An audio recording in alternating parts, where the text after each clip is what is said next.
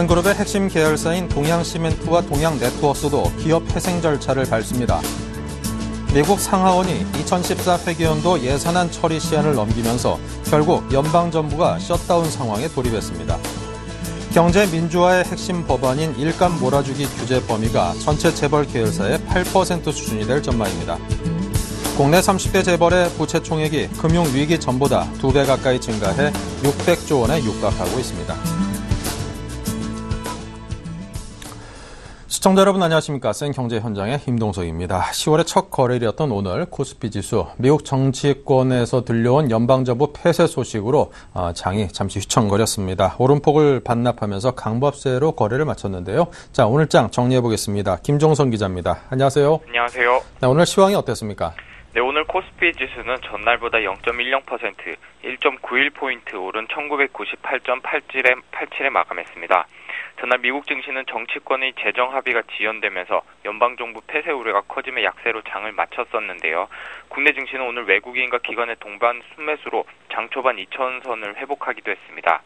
그러나 어, 장중 미국 정치권이 잠정 예산안에 대한 합의에 실패하면서 연방정부를 17년 만에 폐쇄하기로 해 지수는 어, 다시 2천선을 반납하며 마감했습니다. 오늘 외국인은 1,500억 원어치를 사들이면서 25거래일 연속 순매수를 이어갔고 기관도 16거래일 만에 매수세로 돌아서면서 113, 113억 원어치 순매수했습니다. 반면 개인은 1,491억 원 어치를 내다 팔았습니다. 업종별로는 통신업종이 1.40% 상승했고 유통업, 전기전자, 운송, 운송 장비 등도 상승했습니다. 반면 의료정밀과 어, 철강금속, 전기가스업 등은 약세를 보였습니다. 시가총액 상위 종목 중에는 SK텔레콤과 현대차, 신한지주, 삼성전자 등이 강세를 보였고 포스코와 한국전력, 현대중공업 등은 어, 내렸습니다. 또 하나케미칼이 석유화학 사업 회복 소식에 4% 이상 크게 올랐고 OCI와 삼성물산, 한국타이어 등도 2% 이상 강세를 보였습니다. 코스닥 지수는 전거래일보다 4.53포인트 내린 530.35의 거래를 마쳤습니다. 네. 자, 그리고 예산안을 둘러싼 미국 민주당, 공화당의 갈등으로 인해서 17년 만에 셧다운에 들어갔습니다. 앞으로 우리 증시에 어떤 영향을 미치게 될까요? 네, 미국의 셧다운 공포가 이미 일부 반영된 데다 어, 폐쇄 기간도 단기간에 그칠 것으로 보여, 보이면서 어, 국내 증시가 크게 요동칠 일은 없다는 게 전문가들의 중론입니다. 다만 예상과 달리 어, 셧다운 사태가 장기화되고 17일 부채 한도 층의 협상까지 만약 실패로 돌아갈 경우 미국 경제는 물론 한국 경제와 증시는 큰 위기에 빠질 수 있다는 지적도 나옵니다. 우리 투자증권에 따르면 과거 17차례 있었던 미국 정부의 어, 셧다운 기간 동안 코스피는 8차례 어, 올랐고 8차례 어, 하락했으며 단 한 차례 보합세를 기록했습니다. 단순 횟수로만 따지면 정부 폐쇄에 따른 주가 등락, 등락 확률은 반반인 셈인데요. 전문가들은 오히려, 전문가들이 오히려 주목하는 부분은 부채 한도 증액 이슈입니다. 오는 17일까지 부채 한도 증액에 실패할 경우 미국 정부는 사상 유례 없는 채무 불이행, 즉 디폴트 사태를 맞게 되는데요. 설상가상으로 셧다운 사태가 2주를 넘겨서 오는 17일까지 이어진다면 미국 경제는 본격적인 위기에 봉착하고 대미 의존도가 큰 한국 경제에도 큰 부담으로 작용할 수밖에 없습니다. 셧다운 사태가 미풍이라면 부채 한도 증액 실패는 어, 결국 태풍인 셈인데요. 지난 2011년 미국의 신용등급 하향에 따른 주가 하락을 어, 예로 들 수 있습니다. 당시 국제 신용평가 기관인 어, S&P는 부채 한도 논란이 불거지면서 미국의 신용 등급을 최고 등급인 트리플 A에서 한 단계 낮춘 어, AA 플러스로 조정했고 그 여파로 코스피는 어, 당일 70포인트 넘게 폭락했고 연일 주가가 내리막을 걸으면서 9월 한때 주가가 1600포인트까지 내려앉았습니다. 전문가들은 이번 셧다운 사태가 장기화될 것으로 보지는 않고 있는데요. 어, 부채 한도 증액 협상까지 아직 3주 정도 시한이 남은 점도 우려를 더는 부분입니다. 특히 연방정부 폐쇄와 어, 부채 한도 실패 증액 실패에 따른 어, 디폴트 시나리오는 미국의 민주당과 공화당 양당 모두에게 부담이 될 수밖에 없어 현실화 가능성은 낮을 것으로 전문가들은 보고 있습니다. 네, 자 그리고 종군당이 다음 달 지주사 체제로 전환키로 결정했다고요? 네, 그렇습니다. 종근당은 오늘 어, 서울 서대문구 충정로 본사에서 임시 주주총회를 열고 오는 11월 2일자로 지주회사 종근당 홀딩스와 사업회사 종근당으로 나누는 기업 분할을 하기로 결의했습니다.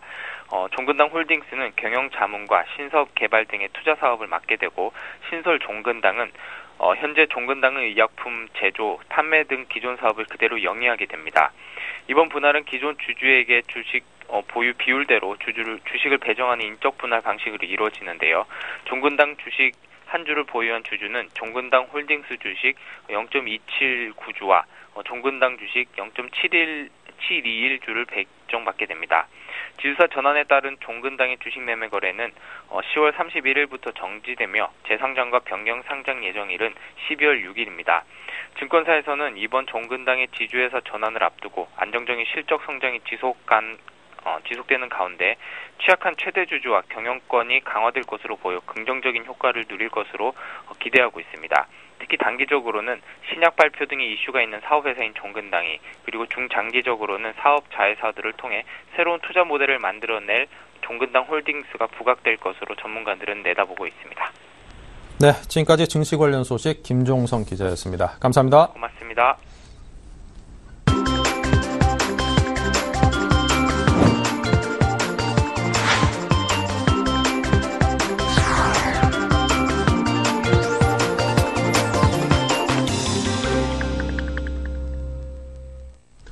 네, 오늘의 주요 뉴스입니다. 동양그룹의 핵심 계열사인 동양시멘트와 시스템 통합업체인 동양네트워크스도 기업 회생 절차를 밟게 됐습니다.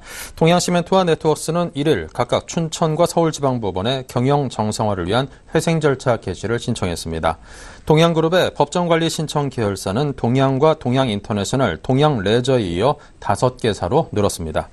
동양시멘트의 지분은 최대 주주인 동양이 54.96%, 동양인터내셔널 19.09%, 동양네트웍스 4.20%등 계열사들이 보유하고 있습니다.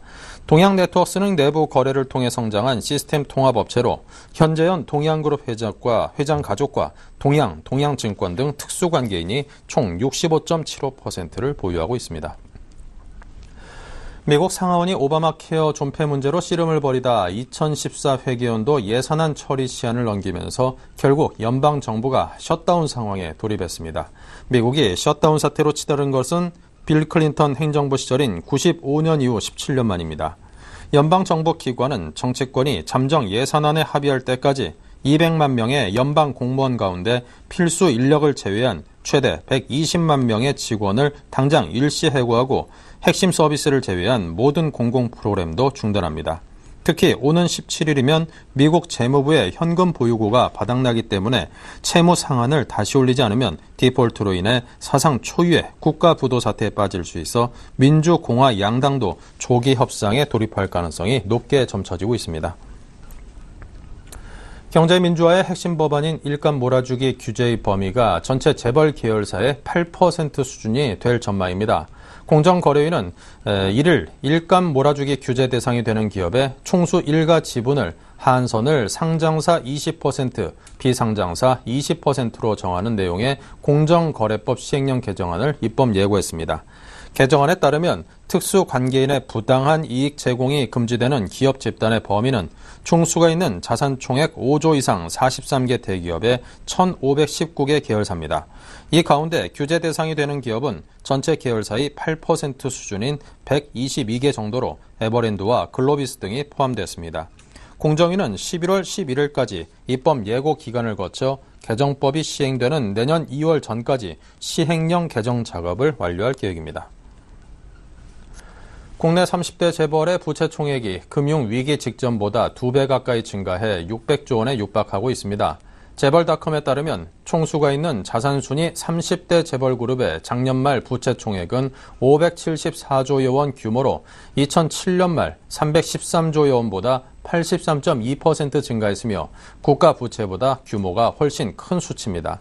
30대 재벌의 부채 비율은 2007년 말 95.3%에서 작년 말 88.7%로 낮아졌지만 삼성그룹과 현대차그룹을 제외한 28개 그룹은 부채 비율이 113.7%에서 115.4%로 상승했습니다. 특히 동양그룹은 2007년 말 146.9%에서 작년 말 1231.7%로 부채 비율이 수직 상승했습니다. 재벌닷컴은 기업들이 무리하게 사업을 확장하며 부채가 폭발적으로 늘었다며 위험 신호가 켜진 곳이 여럿인데 이를 제대로 관리하지 않으면 경제 전반에 큰 충격파가 올 수 있다고 지적했습니다. 농축수산물 가격 하락 여파로 9월 소비자 물가 상승률이 14년 만에 0%대로 둔화됐습니다. 9월 소비자 물가는 지난해 같은 달보다 0.8% 상승해 1999년 이후 가장 낮은 상승률을 기록했습니다. 생활 물가 지수는 작년 같은 달보다 0.1% 하락했으며 신선 식품 지수는 작년 같은 달보다 7.8% 내렸습니다. 신선 채소가 작년 같은 달보다 12.7% 떨어졌고 기타 신선 식품과 신선 과실 등이 모두 하락했습니다.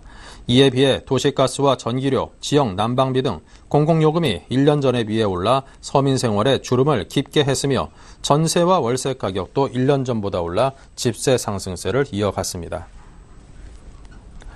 검찰이 효성그룹의 수천억 원대 탈세 혐의에 대해 본격적인 수사에 착수했습니다. 서울중앙지검은 국세청이 효성그룹의 조성래 회장과 일부 경영진을 탈세 혐의로 고발한 사건을 특수 2부에 배당했습니다. 국세청 고발 대상에는 조성래 회장과 이상훈 부회장, 조 회장의 개인재산 관리인인 고모 상무 등이 포함된 것으로 전해졌습니다. 효성은 1997년 외환 위기를 계기로 해외 사업에서 대규모 부실이 발생하자 이를 감추려고 이후 10여 년 동안 매년 일정 금액씩 나눠 해소하는 식으로 1조 원대 이르는 분식 회계를 벌여 법인세를 탈루한 것으로 알려졌습니다. 네, 일본의 아베 총리가 오늘 소비세 인상 방침 발표했습니다. 국제부 신경립 기자 연결합니다. 안녕하세요. 네, 안녕하세요. 네. 자, 오늘 발표된 일본 소비세 인상 방침 어떤 내용입니까? 네, 그 일본의 아베 신조 총리가 오늘 오후에 열린 정부 여당 정책 간담회에서 내년 4월부터 현행 5%인 소비세율을 8%로 인상하겠다고 밝혔습니다. 어, 아베 총리는 가기에서 최종 결정이 나서 지금 오후 6시부터 공식 기자회견을 통해 이를 발표하고 있습니다. 그 이번 세율 인상 결정은 지난해 8월 민주당 정권에서 의회를 통과했던 세법 개정안에 따른 것인데요. 이로써 일본은 1997년 이래 17년 만에 내년에 소비세율 인상을 단행하게 됐습니다. 됐습니다. 네, 아베 총리는 또 소비세율 인상에 따른 경기 부담을 상쇄하기 위해서 5조엔 규모의 경제 대책도 함께 발표를 하는데요. 이 설비 투자와 임금 인상에 나서는 기업에 대해서는 감세 혜택을 주고 또 대지진 이후에 한시적으로 신설한 부흥 특별 법인세는 경제 성장이 임금 인상으로 이어진다는 전제하에 1년 앞당겨서 폐지하는 방안을 검토해서 연내에 결론을 내리기로 했습니다. 또 법인세율도 이르면 2015년부터 인하하기 위해서 조속히 검토에 나서기로 했습니다. 네. 자, 이 인상이 17년 만이라고 했는데 재정이 이처럼 안 좋은 나라에서 지금까지 끊임없이 그 인상에 대한 필요성이 제기됐음에도 불구하고 실행되지 못한 이유는 무엇일까요? 네, 그 소비세가 정권의 운명을 좌우할 정도로 파괴력이 워낙에 큰 민감한 사안이기 때문입니다. 실제로 소비세율 인상은 일본에서 정권의 무덤이라고 불릴 정도로 그 이 사안을 건드렸던 역대 일본 정권이 줄줄이 선거에서 참패하거나 또 최악의 경우 정권이 붕괴되는 사태로 내몰려 왔는데요. 대표적으로 지난 1997년 4월에 소비세율을 3%에서 5%로 끌어올렸던 하시모토 류타로 전 총리는 이 잘못된 정책으로 경제를 본격적인 디플레이션으로 내몰았다는 비난을 한 몸에 받으면서 선거에 참패해서 결국 이듬해인 98년 총리직에서 물러났습니다. 이 소비세율 인상 전까지 2%대 성장세를 보이던 경제가 그 당시 때마침 불거졌던 은행의 부실화 문제와 또 아시아 외환위기 여파까지 겹쳐서 본격적으로 침체의 늪으로 빠졌기 때문입니다. 또 이에 앞서서 1989년 다케시타 노보르 내각은 그 3%의 소비세를 최초로 도입을 했는데 그 이후 수개월 만에 곧바로 정권이 붕괴가 됐었고요. 이 얼마 전 민주당 정권에서도 간 나오토와 노다유시히코 전 총리가 모두 단명한 데는 이 다른 요인들과 함께 이 소비세율 인상을 추진한 것이 적잖은 영향을 끼친 것으로 분석이 되고 있습니다. 네. 그럼에도 불구하고 아베 총리가 이번에 소비세 인상을 단행한 이유, 그 배경은 무엇일까요? 네, 사실 그 경제적으로만 보면 소비세율 인상이 부득이 그 소비와 경기 회복에는 부담이 될 수밖에 없기 때문에 아베 총리 입장에서도 어, 매우 내키지 않는 결정이었다고 할 수가 있을 것입니다.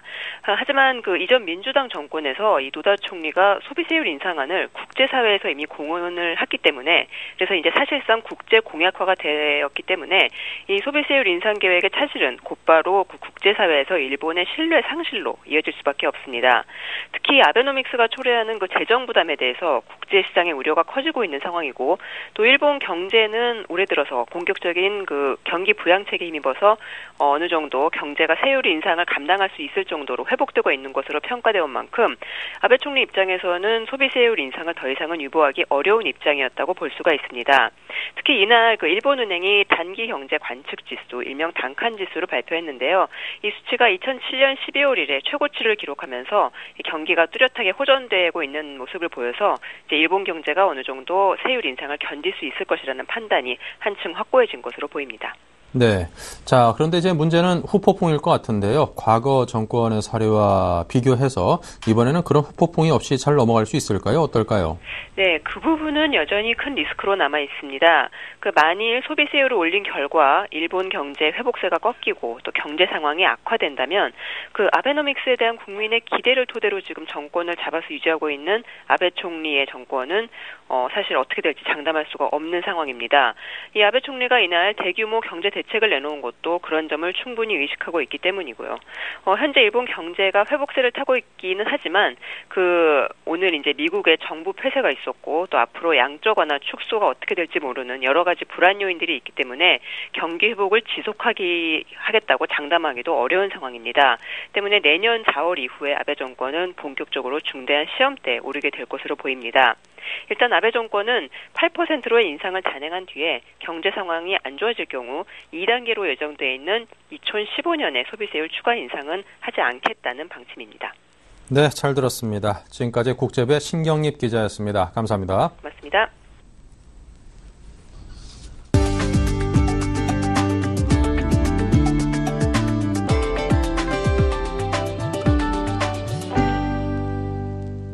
스타벅스 커피 코리아는 정규직 시간 선택제 일자리 채용을 통해 스타벅스로 다시 복귀하는 return mom 바리스타 입사식을 실시했습니다.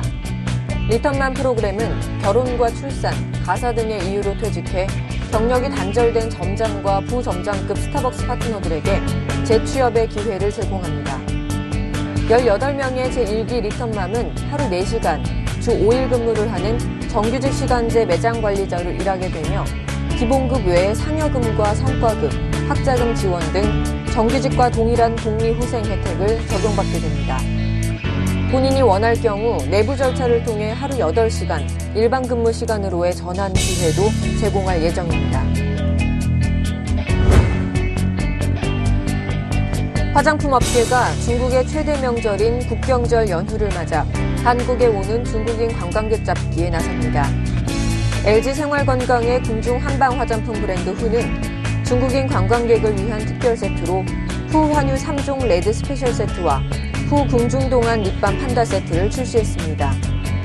에이블 C&C가 운영하는 미샤는 국경절을 맞아 오는 7일까지 서울 명동과 동대문 및 면세점 등 일부 매장에서 중국인 관광객이 특히 좋아하는 prime 24K 라인의 10가지 제품에 한해 동일 제품 3개 이상 구매 시 구입가의 30%를 할인합니다. KT는 1일 광대역 LTE 서비스 지역을 서울 전 지역으로, LTE A 서비스 지역을 전국 84개 시 주요 지역으로 각각 확대했습니다. KT는 11월 말까지 수도권 전 지역에서 광대역 LTE를 시작하고 비수도권 지역에서도 연내에 광대역 서비스 제공을 할 수 있도록 준비할 계획입니다. 부산과 대전 등 5개 광역시 일부 지역에서 제공하던 LTE A 서비스 지역도 전국 84개시 주요 지역까지 확대했습니다. 모바일 IPTV 서비스인 올레 TV 모바일 팩의 데이터 제공량도 2배로 확대합니다. 네, 이상으로 센 경제 현장을 마칩니다. 감사합니다.